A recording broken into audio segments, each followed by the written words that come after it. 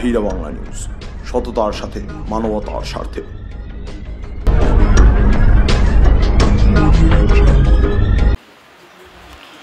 আমরা কাছিয়াপাড়া পৌরসভার অন্তর্গত দশ নম্বর ওয়ার্ডে এসেছি। এখানে এক দিদির সাথে আমরা কথা বলে নেব। দিদি আপনার নাম?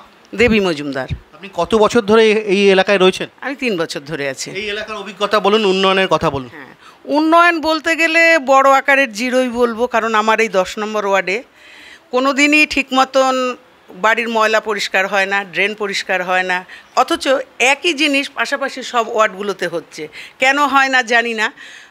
একবার আমরা ঠিকও করেছিলাম, মহিলারাই নামবো যে সমস্ত নোংরা পরিষ্কার করার জন্য। তবে তাও একটা শর্ত নিয়েই বলেছিলাম যে সমস্ত মিডিয়াকে ডেকেই আমরা নামবো।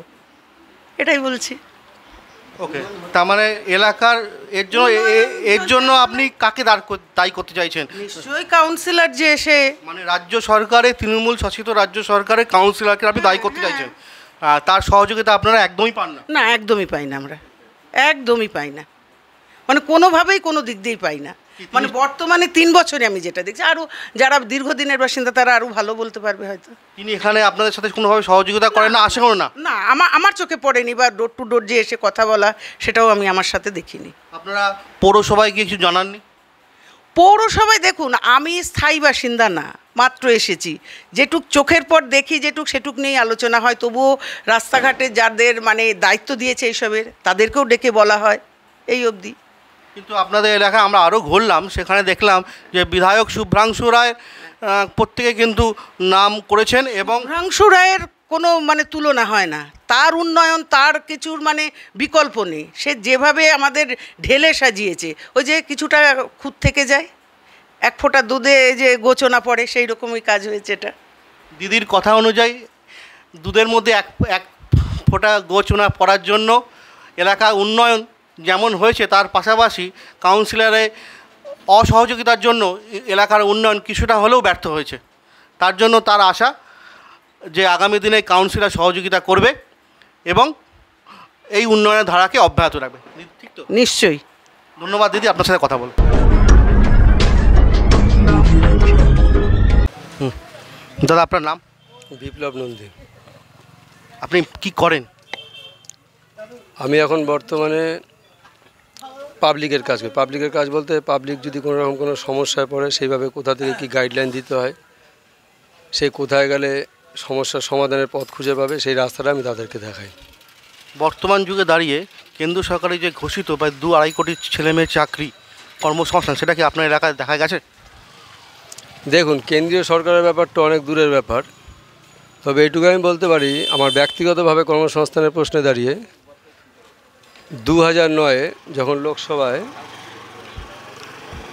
বামফ্রন্ট সরকার ক্ষমতার থেকে পরাস্ত হয়, তারপরে পরবর্তী সময়ে পশ্চিমবঙ্গের ক্ষমতায়, পশ্চিমবঙ্গের মসনদে আমাদের মামাটি মানুষের সরকারি নেত্রী শ্রীমতী মমতা বন্দ্যোপাধ্যায় যখন আসীন হন, সেইখানে দাঁড়িয়ে ব্যাপক হারে বেকার যুবক যুবতীর কর্মসংস্থানের সুযোগ তৈরি হয়েছে এবং তার যারা, তার আদর্শ এবং অনুপ্রেরণা যারা বিশ্বাসী ধরুন আমাদের অঞ্চলের যিনি বিধায়ক আছেন বীজপুর বিধানসভার শ্রী শুভ্রাংশু রায় মহাশয়, তিনি যথেষ্ট দায়িত্ব, কর্তব্য নিয়ে তিনি যদি একটা শিক্ষিত ছেলে এটুকু জানি শিক্ষা আনে, চেতনা চেতনা আনে, বিপ্লব বিপ্লব আনে, মুক্তি।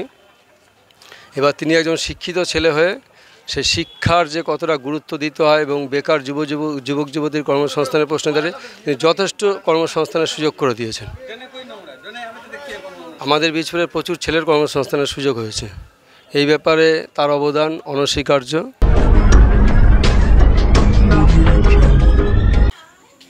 নমস্কার এহারা বাংলা নিউজে আপনাদের সকলকে স্বাগত।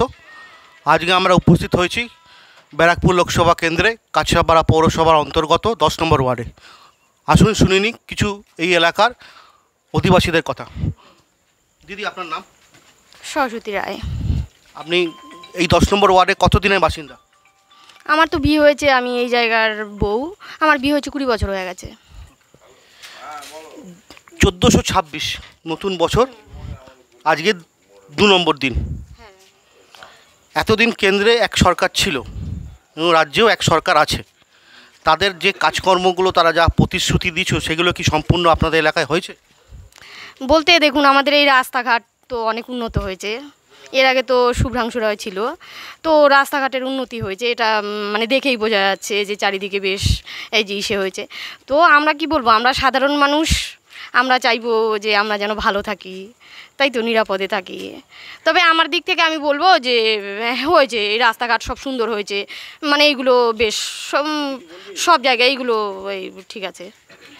এই দিদির বক্তব্য অনুযায়ী, বিশপুর বিধানসভার বিধায়ক শুভ্রাংশু রায়ের নেতৃত্বে এলাকার বেশ রাস্তাঘাট থেকে শুরু করে সমস্ত কিছুই উন্নতি হয়েছে। আগামী ছয় আগামী মাসে আমার প্রবলেম ছিল জল টল এগুলো সবই ঠিক আছে আমাদের কোনো প্রবলেম নেই। কয়েকদিন পর তো লোকসভা নির্বাচন তার মানে কেন্দ্রে আরেকটা নতুন সরকার আসবে তাদের কাছে আপনাদের কি চাওয়া বাবা পাওয়া? এবার সময়ের সাথে সময়ে দেখা যাক এখন কি বলব? আপনি তো একজন গৃহবধূ। রান্নার গ্যাসের দাম তো প্রায় আটশো টাকা কাছাকাছি। হ্যাঁ হ্যাঁ এখানে দাঁড়িয়ে আপনি কি বলবেন? উম, না আমরা চাইব যে এই যে দাম কমুক তাই তো? আমরা এত দাম আমাদের তো অসুবিধা হচ্ছেই। আমরা চাইব যে আরও দাম কমুক। তাই তো সব জিনিসপত্রের দাম কমুক এইগুলো আমরা চাইব।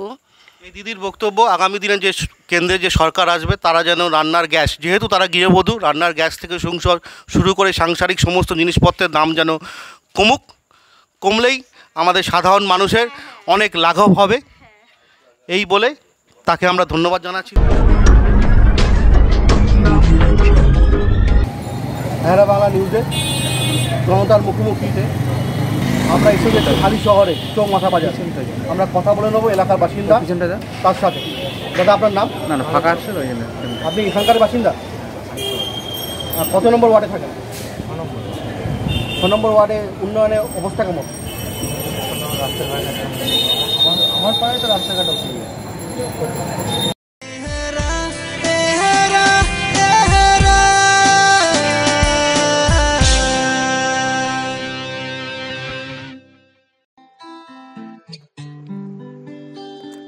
like, subscribe for more information and news and click the bell icon for notifications.